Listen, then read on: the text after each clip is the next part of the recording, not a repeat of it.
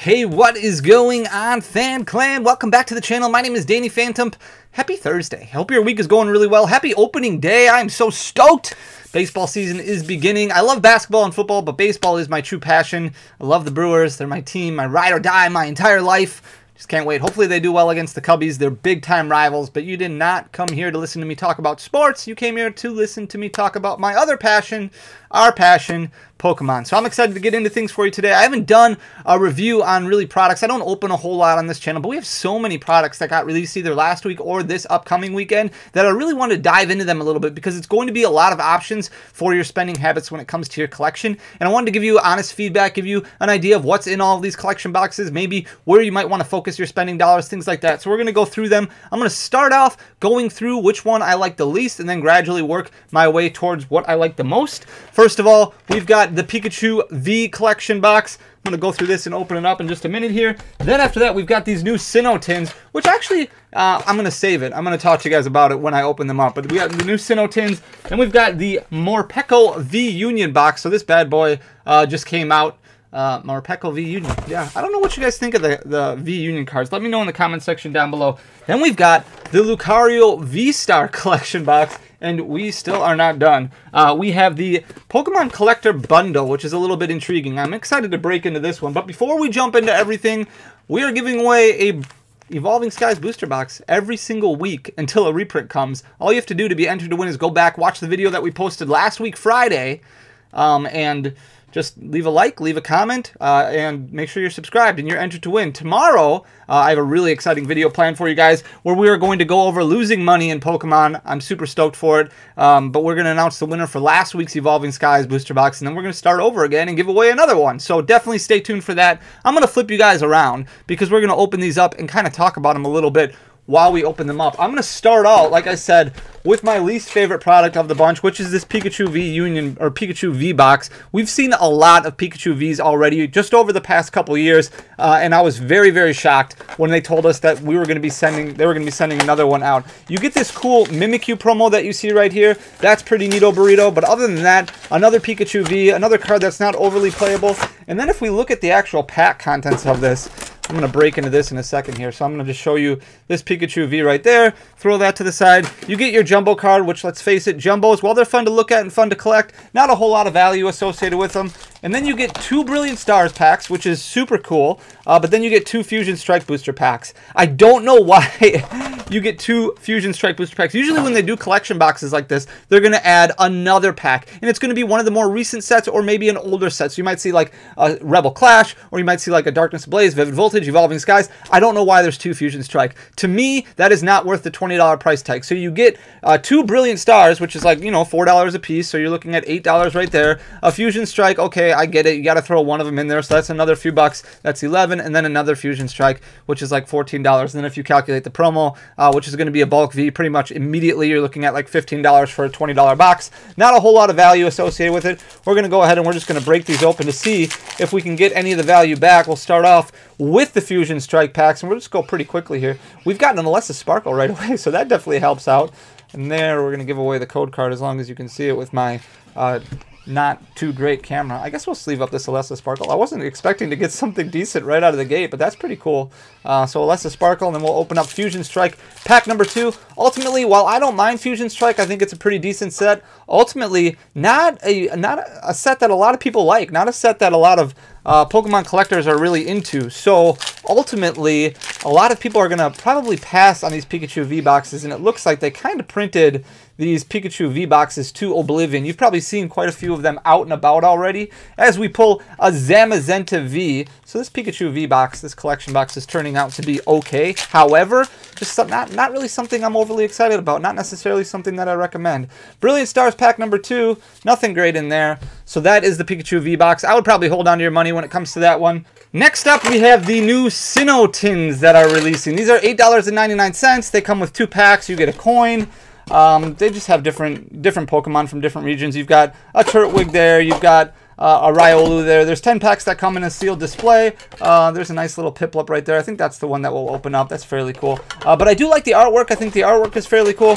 outside of that, though, and I'm going to break into this, and we're just going to open up one of these rather than open up the entire display. Outside of that, I'll show you the pack contents inside. With this being a new set, you get this nice little artwork card in there, which is cool. Look at that, right out of the gates. Fusion Strike, and Chilling Reign. So you're spending $9 for MSRP, which isn't bad, but you ultimately are getting two packs that really are only worth about $2.50 right now, $3 right now, depending on where you look. Fusion Strike, which we just talked about, not a super exciting set. Chilling Reign, a little bit better of a set. I like it a little bit more than I did Fusion Strike because you have potential to pull some of those really cool alternate arts that are in Chilling Reign, but ultimately, I don't know if it's necessarily worth that $9 price tag. Now, it is something that you could collect for future if you're somebody who really likes the artwork. I think the artwork looks fantastic on it, but ultimately, um, not the best not the best product, unfortunately.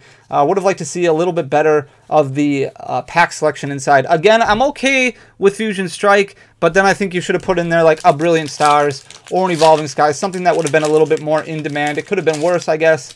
Uh, Chilling Reign is at least somewhat decent, and we got a hit out of it with a Volcanion V, so that's pretty cool.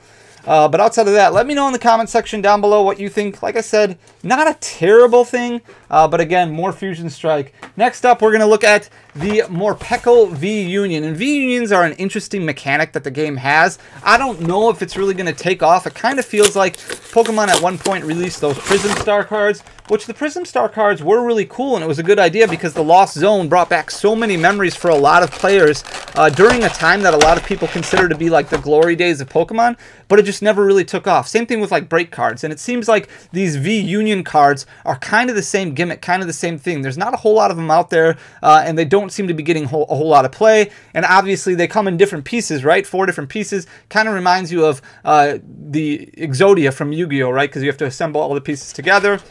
I don't know. You have to let me know what you think in the section down below. Then you get another jumbo card, but that's pretty much it. Then you get four packs. And if you want to look at the packs, once again, it's two Fusion Strike. So again, and this is $29.99, $30 for the MSRP for the Morpeko V. Morpeko is cool. I like I like Mor Morpeko just fine, but again, it's the pack selection inside that gets me. Two Brilliant Stars is awesome. That makes sense. It was the most recent set that released. One Fusion Strike makes sense. It was the set that released before that. Doing two Fusion Strike to me does not make a whole lot of sense. Why are we doing two Fusion Strike instead of one of a different Sword and Shield era set? Even if it was like Darkness Ablaze, Battle Style, something else, giving a little bit more variety. When you do two Fusion Strike, you're not getting a whole lot of variety in there, and then you're really just focusing on the past two sets. So we'll break these open quick and see if we can make back a little bit of the money that I guess would be spent on buying this at $30 a piece. So again, I don't know if I'm overly excited about this product either. There are a couple products, I'm going to get through them in just a second here, that I do like that are releasing, but ultimately it is your decision, it is your money, and while some of these are, I mean, some of them are, are cool artwork, I just wish that the pack selection inside was a little bit better. In all honesty, I don't know why there was another Pikachu V card that was printed. I think there was a lot of other cards that need a V card or could have uh, benefited from having an ultra rare even in a promo fashion. I would have preferred. We are 0 for 3 on the um, packs in this Morpeko V box, which V Union box, which is just making it a little bit worse to deal with. Uh, we'll see if we can get anything in this one. Oh, just a Kingler V. All right, so at least we've gotten hits and everything. Unfortunately, just a couple bulk Vs with Zamazenta V and Kingler V. Volcanion V, not a whole lot of value for the full art either. Next, we're going to look at the Lucario V-Star, and this one I'm actually fairly excited about because it does have somewhat competitive connotations associated with it. However, once again, the pack selection inside is not something that makes me very happy. So here is the Lucario V. This is actually a really cool full art. I really like how it works uh, or looks. You got Crushing Punch for a double colorless. Uh, it does discard a special energy from your opponent's active Pokemon. It does 50. And then you've got the Lucario V-Star with Fighting Knuckles. It's got the Aura Star as its V-Star power. Uh, you also get this cool coin over here, which isn't bad. Uh, the pin is really neat, and obviously a V-Star marker along with the Jumbo. Outside of that, going over the pack selection, I'm just going to put this aside and hopefully not bump the camera way too much. The pin is actually really cool. I like how it looks. Uh, it's actually two different levels with the swirl behind it and the Lucario there. Very neat. I do like that a lot. Uh, but outside of those things which I do like about the box, the things that I don't like about the box, again, Brilliant Stars is awesome. Chilling Reign is great. Three Fusion Strike, and that really doesn't make sense. So you have the potential of a really good box that gets brought down to just a, a decent box. And when things are all said and done, you get two Brilliant Stars packs, which again makes a whole lot of sense. One Chilling Reign makes sense. But why three Fusion Strike? Like you have the opportunity to add in a lot of different sets from the Sword and Shield block, and you just focus on three Fusion Strike. One makes sense. Adding three of them does not make a whole lot of sense. So we're going to crack these open and see if we can get anything. There is a little bit of a price tag associated with the Lucario V-Star box. It is $39.99, so you're looking more at like the price of an ETB, which obviously you're going to get eight packs in, all from the same set, but you get instead uh, six packs, and then you get the, the full art Lucario, which is really cool, and then the Lucario V-Star. We've got a Crabominable, Crabominable V. Uh, so another bulk V right there. We'll see if we can get something good out of maybe Brilliant Stars or Chilling Reign. Even if we get, I mean, obviously it's all luck-based when it comes to opening packs, so you never know how the box is actually going to um, play out. And it's it's fun to open cards, like don't get me wrong there, uh, as we move on to Chilling Reign. But I just wish that the pack selection was a little bit better in all of these so far, especially when it comes to uh, this specific box, the Lucario V-Star box. So definitely something that I would recommend picking up for the promo cards because I think they look uh, very, very neato burrito. But other than that, um, not too excited about the packs inside. And we are uh, struggling with pulls on this box as well. We have a Dusknoir Holo. Outside of that, we have not pulled a single uh, a single good card. So we'll hope for some last pack magic here. Maybe we'll get some. Oh boy. So we went 0 for 6 on that box. Finally, the box that I'm actually most excited about is the collector bundle that you see here. This is actually $30 and it comes with seven booster packs. So that right there is about 7 times 4, $28. You're looking at MSRP basically for the booster packs alone, but then you also get some sticker sheets, you get a, a cool little notebook inside, and then you get three promo cards. You get the Rowlet, you get the Cyndaquil, and you get the Oshawott, which I think is super cool. It's a little different than what I originally anticipated it being because it's not... Um, it's not a tin. It's it's made out of cardboard instead. So it's it's kind of like a lunchbox. It's kind of like a, a, carrying case, but at the same time, uh, it is more so like uh, is more so cardboard. I am struggling so much just to get this open, but I'm going to show you what I mean. So it's it's a, a, cool cardboard, and then it's got a little handle at the top here that you could carry around, uh, carry it around with, but ultimately uh, not a tin, which is pretty cool. So if we open it up, it's also got this really cool Arceus coin uh, that's got a little glimmer to it, a little shine to it uh, which I actually really like. And then you've got the, the cool promo cards that are uh, attached to it. So we've got the, the Holo Cyndaquil here. I'm just going to take these out so you can kind of look at them. So there's the Cyndaquil, there's the Oshawott, and there is the Rowlet. Ultimately, this is the box that released that I like the most. I do think that the Lucario box is okay. The other ones, not as big of a fan of. I'm going to go through these in just a second, but I want to get this, lots of wasted space, unfortunately. I want to get this extra bulk out of here so you can take a look at the, the sticker sheets, which are cool, and uh, the notebook, which is neat too. Anytime you get little add-ons like that is pretty cool, especially considering the fact that you're basically paying MSRP for the packs, and then this is all like extra bonus stuff. So there's the sticker sheets, um, and then this is the, the, the little notebook that comes with it too. Uh, the Arceus notebook. There's another couple of sticker sheets there. And then you got a little display case, uh, if you want, a little carrying case, which is pretty cool. But we're going to go through the packs right meow. Uh, we've got Fusion Strike, obviously. Here's a code card if you want the code card for this.